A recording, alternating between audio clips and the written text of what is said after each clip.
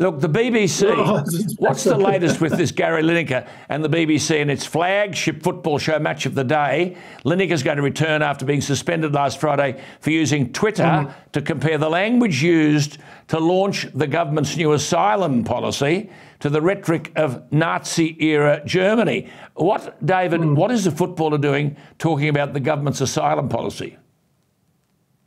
Well, this is a big problem. I mean, as you know, the BBC is a state funded, taxpayer funded broadcaster, which is a nonsense in this day and age, but uh, it still is. And uh, it has a duty to impartiality uh, amongst its presenters uh, on news and uh, political correspondence and things, but also amongst people who are its, you know, ambassadors and represented. And Lineker is one of those. Lineker has been abusing this rule for years, actually. This was the most egregious example, but right. uh, BBC suspended him and then apparently just did a massive retreat on it after a lot of pressure. But well, I mean, uh, apparently, I, think fellow presenters and fellow presenters and commentators refused to work at the weekend. Yeah. So, what there's going to be an internal review into the corporation's social media guidelines. I mean, the question many are asking is do people still watch the BBC, David? It seems to no, offer the same bias as our ABC. What? Not a lot of people watch it anymore, and not a lot of people actually watch his his show match of the day anymore. It's not, you know, no. uh, viewer figures have tumbled. Like it's oh, yeah. boring.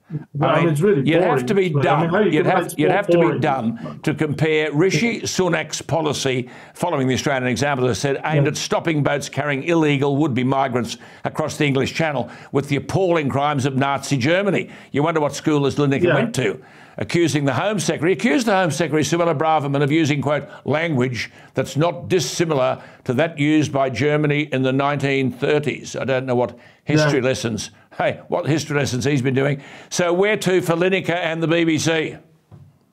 Well, hopefully this will uh, begin the process of the end of the licence fee and stop us having to pay for these these people it's about time uh, the, the, whole wretched thing was broken up, in my view, and uh, privatised. But uh, yeah, absolutely, absolutely. Another battle. All right, I mean, David. Now listen, good to talk on. to you. But today, in a few hours' time, you've got the budget, and the big thing is what's Sunak going to do about the increase in corporate tax, corporate tax rate that he brought on as chancellor.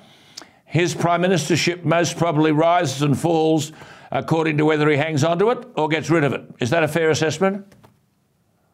I think so. Yes, I think so. Uh, he may try and fudge it in some way or other, but uh, I think I think this is the big issue. This is a Good on you. issue. Great to talk to you, David. You can't, I can't talk to you these days without a smile on my face. It's like reality TV. it's David Maddox. He knows everybody, the political editor. But, well, you must have spoken to all of these people. You do know everybody. So someone you must know knows what Sunak is going to do. Have you got any inside info what he's going to do about this corporate tax rate? The, the latest I heard was that it was going to get delayed, but Oh, Who knows? I'm give, not, it, give it to I'm Jeremy not, Hunt I'm to deal certain. with. yeah,